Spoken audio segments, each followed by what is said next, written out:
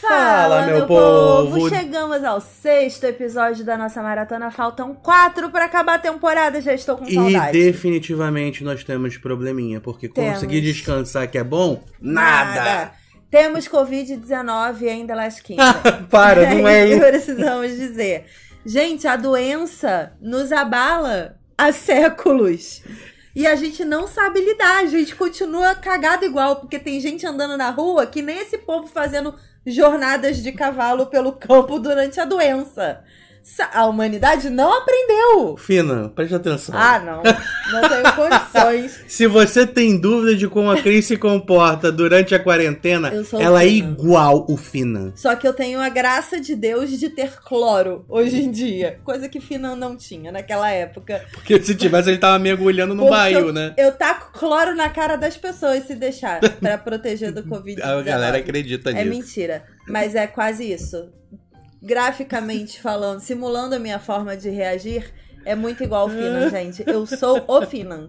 E veja É se assim, você sempre gostou desse cara. Existe cara. uma doença. Eu já estou com todos os sintomas, me cagando de medo e falando: precisamos nos exilar para Marte agora. É, Gente, é a Terra. Não dá pra ficar na Terra. Eu sou o Finan. Ele é maravilhoso. Eu amo cada vez mais esse personagem. Ele me representa em tudo que ele pode. exatamente. Maravilhoso. Se você caiu aqui de paraquedas e não sabe o que tá acontecendo, nós vamos falar Nem sobre o sei. sexto episódio de The Last Kingdom. Sim. Na nossa maratona da temporada número 3. Maravilhosa, bem feita, linda. 3 mais 1. Quatro. Aí! e aí, você, você não tá caindo aqui e não assistiu nenhum dos outros episódios, aqui no canal tem todos os episódios. Aqui na, na Descrição. descrição tem o link da playlist do The Last Kingdom. Tem todos os episódios aqui também. Eu tô colocando todos os links anteriores. Ah, eu sou muito espertinha. e se você quiser fazer parte do nosso universo, saber quais são os vídeos que a gente posta, as lives que a gente participa, o link do nosso grupo do Telegram de notícias está aqui na descrição Boa. também. Entra lá, todos os links estão saindo lá, porque quando a gente faz maratona assim e posta como vai ser o caso de hoje, domingão, 10 vídeos em um só dia, o YouTube tende a, depois do terceiro vídeo, falar: cansei de vocês. É. Obrigado, vou trabalhar ali no canal. Ó, eu gostaria de mandar um beijo pro Deusivaldo, Deusivaldo Barros Carvalho, que comentou em todos os vídeos. Maravilhoso. Está maratonando junto com a gente. Inclusive, no quinto vídeo, ele comentou: vai lá, gente, descansa, estaremos aqui esperando vocês. Ô, Desivaldo, estamos aqui de novo. Sinto de decepcionar e pandamente também, mas não descansamos. Tá, meninas? Mas enfim, The Last Kingdom, sexto episódio, e é muito louco você começar a primeira tempo, o primeiro episódio dessa temporada, que agora a gente tá muito na reta final da temporada, né?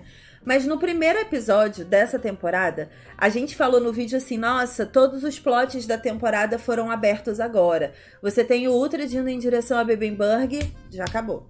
Não deu em nada. É, aí tinha também assim: ah, o Eduardo tá ali protegendo as, né, as fronteiras de Wessex porque ele não quer se envolver nas outras brigas. Deu em nada também. Eduardo já lá tá metido a besta na Mércia até agora, uma hora dessa, Mércia. doença. Ele tá na Mércia, trancado numa fortaleza com doença em volta, ou seja, não esperávamos por isso. A esposa dele e o filhinho dele estão lá em Wessex sozinhos e a mulher tá achando que é a rainha do rolê inteiro. É. De fato, Eduardo já começou a se rebelar contra Jafar, contra seu conselheiro do mal. A mãe dele está na Mércia, fugiu de Wessex e veio pra Mércia. É. A Teofled tá por aí, na estrada, indo para Chester, Chester.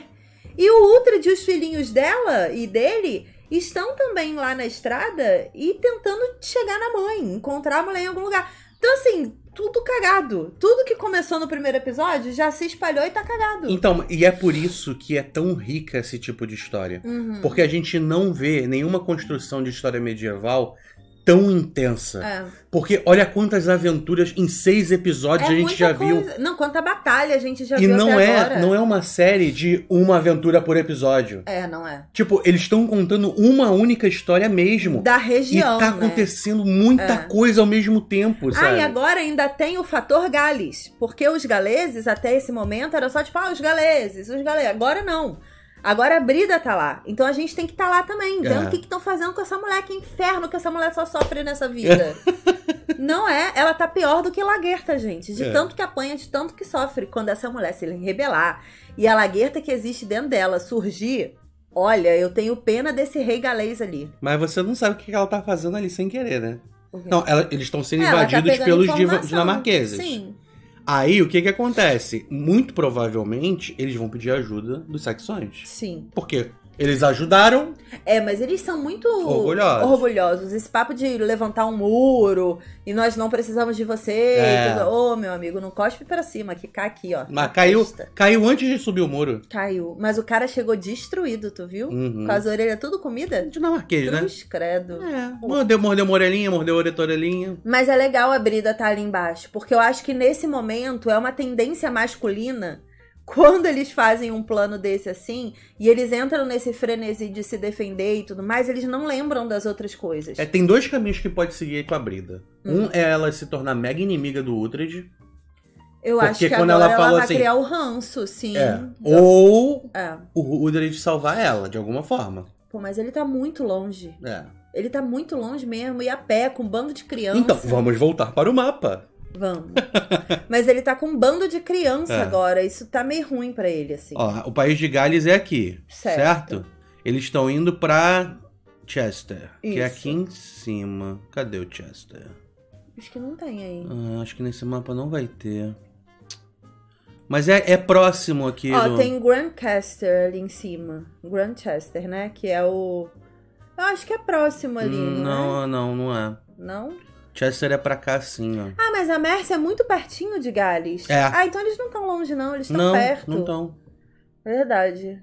E aí os dinamarqueses estão vindo por aqui, ó, da Irlanda. Ah, faz sentido. Eles estão ali na mesma região. Uhum. É, faz sentido. Mas eu tô doida pra Ethelflaed encontrar logo. Mas será que a filhinha dela tá com. Você sabe o que, que ela tem? Sei, mas não posso falar. Não, eu sei que não. Só queria saber se isso é uma coisa que É, você Eu sabe. sei. Porque eu acho que não é a doença que tá todo mundo tendo. Porque se fosse, ela já estaria podre. A galera morre em 30 segundos quando pega essa doença. Ela pode estar com insolação, ela pode estar com verme, ela pode estar com qualquer coisa. Febre Tem que, você tem que lembrar que ela tem sangue do Alfredo, né? Ah, ela é intolerante a glúten e lactose. Talvez, talvez não, Cris. Tadinha de, de Little Mas a- as pessoas com sangue do Alfredo têm tendência a ficar doente muito fácil. É verdade, é uma galera fraca do É uma coração. galera fraca de imunidade. Ai, vamos falar de Little Alfredo? Vamos, Alfredico? Altestan, muito Nossa, bom. gente, nosso primeiro rei da Inglaterra. Lendo já. Gente, ele é muito rei Arthur, não é? O jeitinho dele. Ele olha e ele sorri com um barquinho. Ele é muito tipo, eu nasci para ser rei, gente. E o Finan? Todos os meus closes são incríveis. E o ele é Finan, uma muito... babá quase perfeita? Gente, ele é muito uma babá quase perfeita. Eu amo. Ai, o Finan é Eu perfeito. adorei esse episódio, assim. Eu achei ele mais leve, tudo bem, tá todo mundo morrendo podre. Né? Mas Tem o Rio The Walking Dead ali. tem o Rio The Walking Dead. Mas pro núcleo que a gente ama, vamos lembrar só do núcleo aqui. A gente teve momentos leves, como por exemplo a conversa do Eduardo com a mãe. Foi uma conversa muito boa, sabe? Em que eles colocaram alguns pingos nos is ali. É, e, e, tipo, ela expôs todos os planos do, É. do Jafar lá, o, o, o E da não, filha do Jafar, dele. né? E aí o Eduardo, enfim, cego, não quer enxergar que a menina é o demônio na Terra. É, Mas o Jafar, ele já tá enxergando que é realmente o Jafar. exato. Ele já tá tendo essa consciência. Mas eu achei muito legal essa conversa entre eles. Também a situação em que ele meio que desafia os condes e abre os portões pra mãe. Acaba entrando uma galera. E aí tem o padre de Wessex que tá meio que colocando gente pra dentro por proteção. Aham. Afinal de contas, ele é um homem de Deus, tem que salvar pessoas. Foi leve nesse sentido ali, porque algumas coisas meio que entraram no eixo. E lá no núcleo do Uhtred também foi muito leve, porque as crianças tornam as coisas mais legais, né? A gente teve o Little Uhtred com a irmã, tendo aquela conversa. Ela é super pagã e ele é super cristão. É, É muito contraste, assim, na relação, mas eles se amam mesmo como exato. irmãos, né? E, e eu acho que nasce uma oportunidade de respeito É, que ele não tem pelo Uhtred. sim. E vem através dela, que É. é, do mesmo nível. Porque aquele negócio, o Uhtred convive, convive lá com o bastardo do Alfredo, convive com o Fina, É. que são muito cristãos, né? Sim. No meio da batalha estão ali rezando e tal, e o Uhtred não se mete. É. Assim como quando o Uhtred critica, eles, também não, se, metem. sim. Mas eu achei muito bonitinho ela fazendo ali a oração dela e jogando o amuleto pra poder pedir, é, né, paz pra, pra jornada deles. Ela é uma fofa, É, gente. Ela é. é. muito legal. E ela é muito igual a Ultras, né? Uhum. A parada de eu não quero ser mãe, eu não quero casar, gente. Não tem recompensa que justifique isso. Essa frase é muito maravilhosa. É, é, eu acho que a gente tem guarda, guarda essa frase, guarda esse momento dela, porque esse momento de conversa com o pai é muito importante. Tá. Mas eu gostei muito, assim, gostei muito da atriz que faz ela, a Stiorra, gostei É. muito do ator que faz o Ultras. No início eu achei ele meio assim, mas eu acho que era do personagem mesmo, esse negócio de ficar meio retraído no começo com muito medo. Mas agora ele é legal, ele tá Então, se soltando, E eu né? acho que foi pra confundir os fãs do livro. Hum. Pra gente, para ele não mudar muito absurdamente de um lado pro outro. Ele foi passando de um lado para o outro.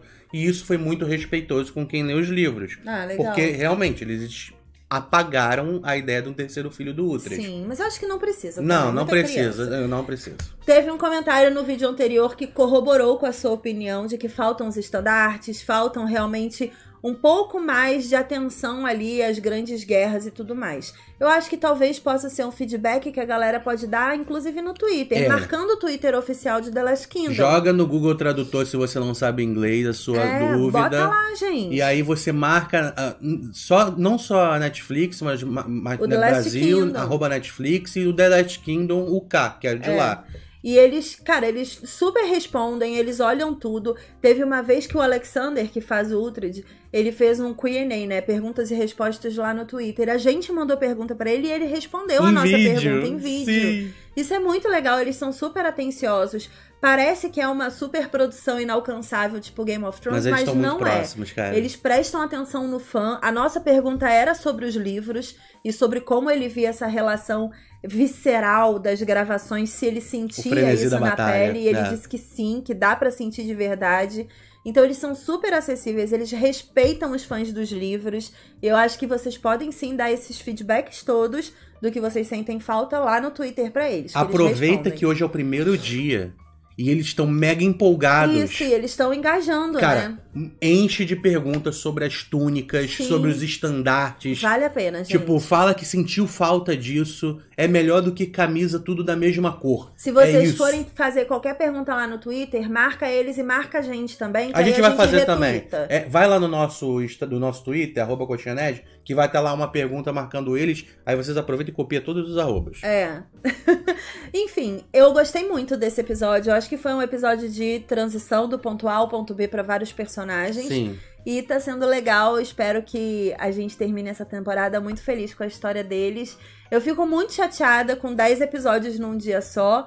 Porque a gente acabou. fica muito tempo sentindo falta do conteúdo, né? Ai. Mas ao mesmo tempo, essa maratona aqui faz com que a gente tenha pelo menos uma horinha entre um episódio e outro pra poder relaxar, digerir, lembrar de tudo que aconteceu e seguir a jornada. É. Espero que vocês estejam gostando da nossa maratona. Obrigada a todo mundo que tá assistindo. Obrigada a todo mundo que já elogiou nosso trabalho até aqui. Vocês são incríveis. E a gente realmente faz isso porque a gente ama muito ter vocês do nosso lado numa estreia de uma série tão importante pra gente. Exatamente. Beijo e até daqui a pouco com o sétimo episódio. Tchau! Tchau.